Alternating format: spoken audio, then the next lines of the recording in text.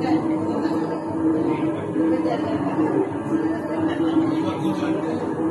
you.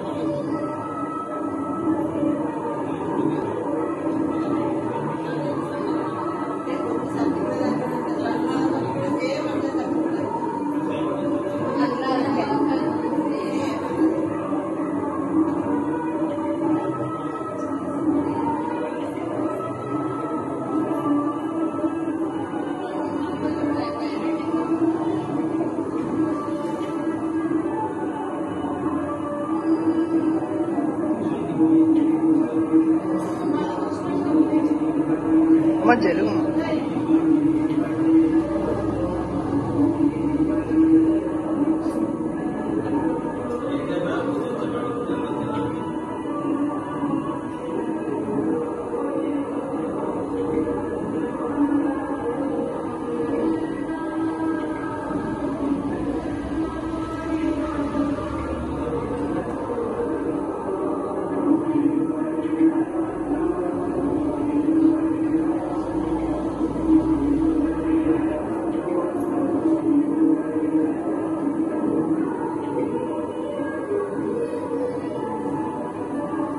కొంచెం జియా కూడా అట్లే ఎక్స్ప్రెషన్లు అన్ని కదా?